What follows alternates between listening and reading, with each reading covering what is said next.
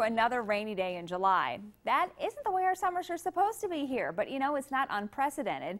Tonight, we take you back to a very wet July 25 years ago in our archives. Some local car washes are open anyway, but owners say, so what? We're not making any money. There are only a handful of folks brave enough to risk the rain and try to get their wheels washed. You thought you could make it, and the sun was going to come out and it wasn't going to rain, right? I now wasted my money getting a car wash. Do you think it'll ever stop raining? No. It has to. no.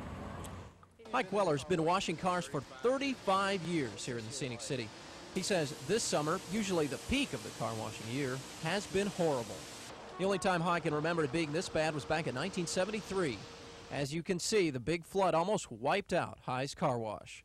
We've been flooded out twice. And uh, this year we didn't get it. We, didn't, we weren't flooded out yet, but we may as well have been flooded out because uh, people are not washing their cars right now.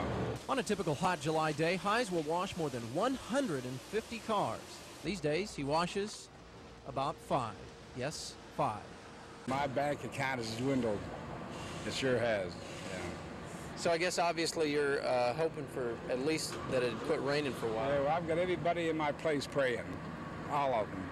So the car washer's creed these days, it would seem, is rain, rain, go away, come again another day. Please. Paul Gallen, News Center 12.